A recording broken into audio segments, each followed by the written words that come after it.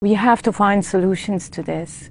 We can't turn away from what is evidently a moral failure in the face of the international community. I've just visited the European Gaza Hospital and the things I saw there is, is beyond anything that anyone should be in a position to describe. What shocked me the most were the children with atrocious injuries and at the same time having lost their parents with no one looking after them. I met people who have lost limbs because they needed to evacuate between treatments. I was told today that the North has lost its entire surgical capacity. We are facing a situation here that will not be healed by sending in more trucks.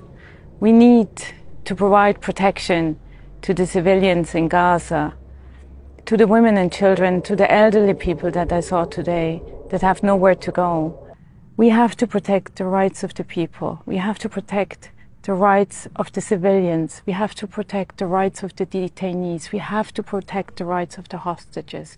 The ICRC will do its utmost to help alleviate and reduce the suffering, but we can't do this alone.